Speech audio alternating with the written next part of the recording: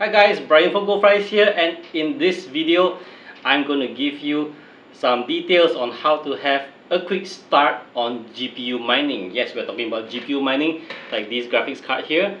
They are mining alternate coins of which in the end will become bitcoins and these coins will be in my bitcoin wallet so stay tuned i'll get into the details right after this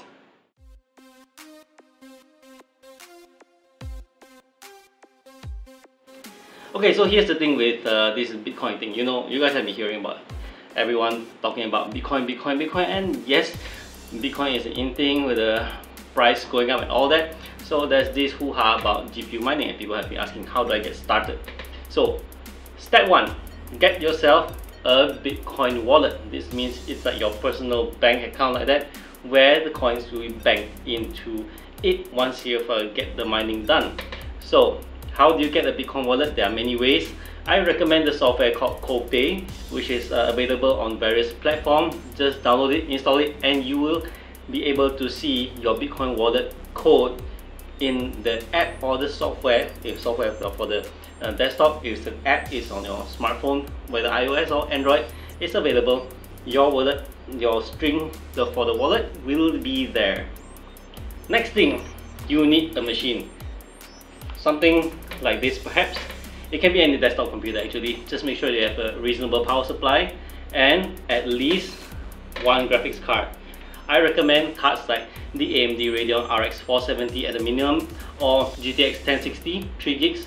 They'll do 1060 or GTX 1060 or the RX 470 and in this case you see here I have two of them two RX 470 models mining at the same time. So this is my setup and when you run multiple cards like this there's no need to uh, worry about any crossfire S or SLI setup you just have to plug them in and get it running now, if you want uh, to run more than two cards, it depends on your setup.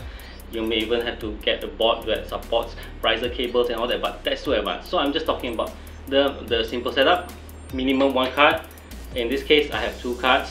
Well, um, how many cards you can put is entirely up to you. How do you get mining now? Times have changed. Back in 2014 when I did mining, it was quite complex. You had to go like command line, key, key in the instructions, everything. is so much hassle.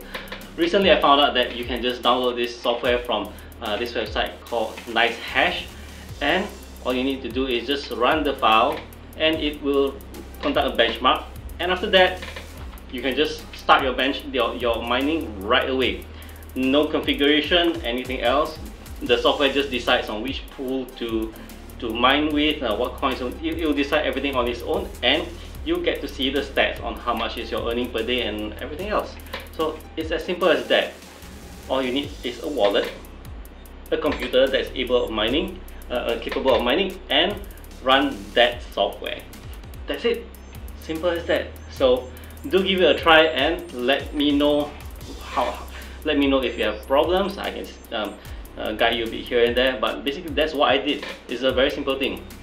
I, I'm a former miner and now I'm starting to mine again not not as a large scale as before but well it's, it's going on now as you can see here so well try it out and let me know whether if uh, it works and if you find this useful do share it to your friends family loved ones goldfish or whatever else alright I'll see you in my upcoming videos and thank you for watching